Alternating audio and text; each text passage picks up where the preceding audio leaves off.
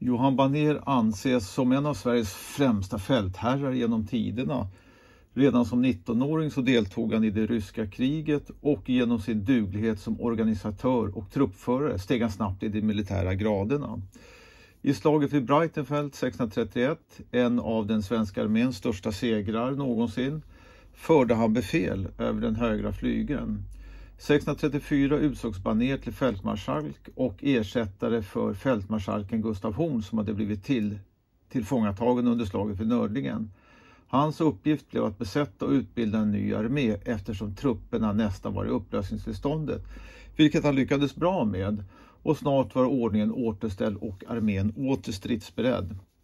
År 1636 vann den svenska armén under hans ledning en stor seger över den kejserliga och saxarna förenade härar i slaget vid Wittstock.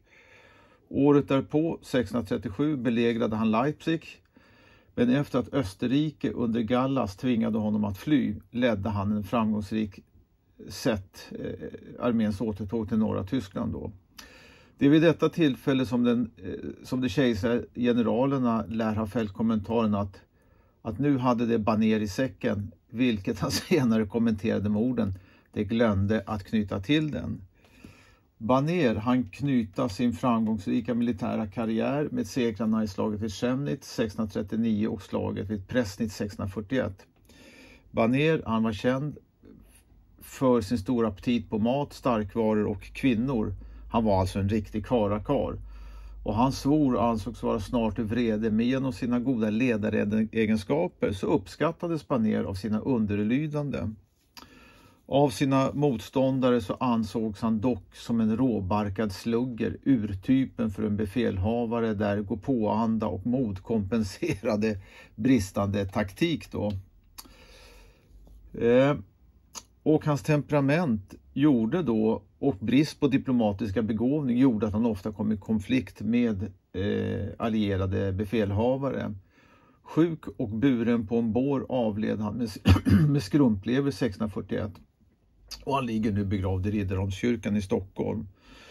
Och om vi då tittar närmare på den här medaljen då så kan vi då konstatera att det här är en historiskt signifikant, mycket, mycket spännande historia då. Och det är ett påtaglig likhet också med Gustav II Adolf som porträtt här då. Va? Och då ska vi veta att den här medaljen då är graverad av eh, Johan Blum då som även har graverat en hel del medaljer åt Gustav II Adolf.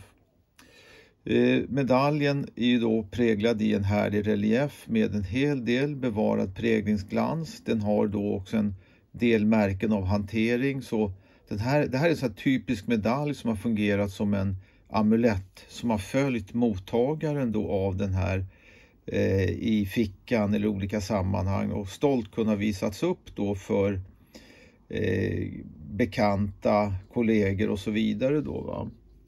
Och tittar vi på sällsyntheten på den här så kan man säga i den stora internationella databasen Coin Archives Pro så har jag noterat utöver det här exemplaret fyra försäljningar då.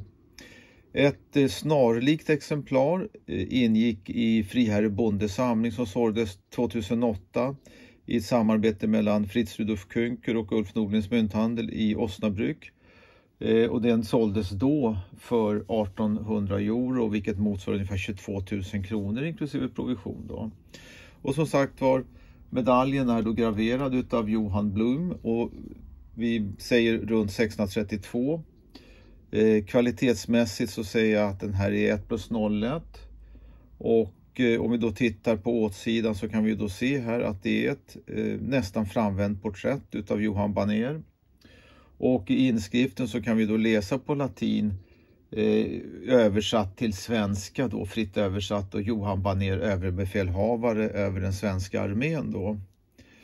Och eh, om man då tittar på frånsidan här så ser vi då överst eh, Jehova på hebreiska, alltså Gud, strålar och som, som strålar över då en arm utsträckt ur ett moln som håller ett uppåtriktat svärd genom en lagerkrans då.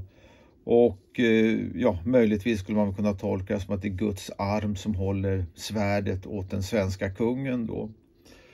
Eh, och eh, om man då läser då den latinska texten här så kan man ju då se så står det ensem proque deo dexte, dextera fertque sveco.